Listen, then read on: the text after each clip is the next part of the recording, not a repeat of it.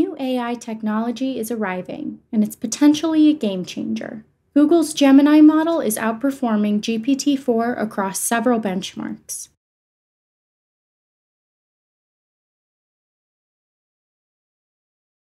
Gemini is a pretty big deal. It's reported that the largest version of Gemini, Gemini Ultra, which is expected to debut early next year, has a 90% score on the MMLU benchmark, which is higher than any other model, including GPT 4.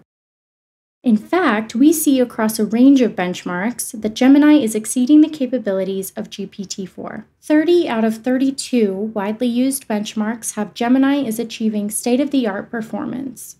Now remember though that there are multiple versions or sizes of Gemini, and Gemini Pro is the middle tier. The Ultra model, which is the largest and most capable Gemini model, is not yet available, but you can nevertheless get a first look by using Gemini Pro in Bard.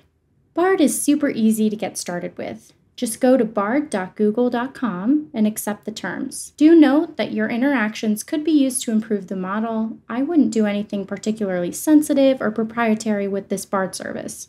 Check out our other videos to learn more about enterprise grade AI in Google Cloud.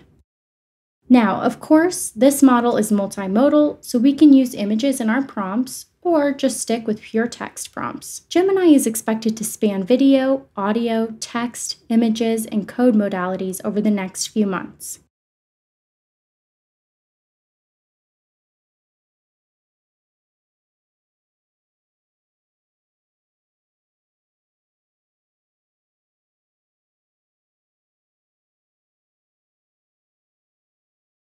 There's currently no Gemini offering in Google Cloud, but we'll link to a video covering the new Google Cloud PaLM 2 Unicorn model release in the video description. This is a quickly evolving space, and while Gemini Pro and Bard is the one and only option for the masses at this point, it'll be only a week, December 13th, before the capabilities and access are expanded. When that happens, we'll be sure to share and keep you posted. Leave your questions in the comments section and please enjoy responsibly.